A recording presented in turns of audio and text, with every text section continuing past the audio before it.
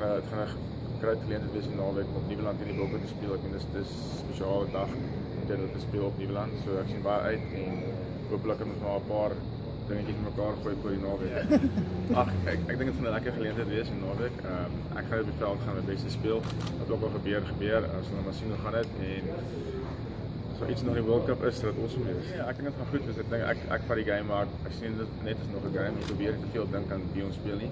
Ek probeer dit sien is lekker game, lekker geleentheid om met myself te geniet en kom by ons te ontmoet en ehm um, jouself uitleef op die veld. Obviously die die games is hierdie is nie so baie druk om volgens strukture te speel nie. So dis gaan lekker geleentheid wees om met jouself uit te leef en saam met ons te geniet.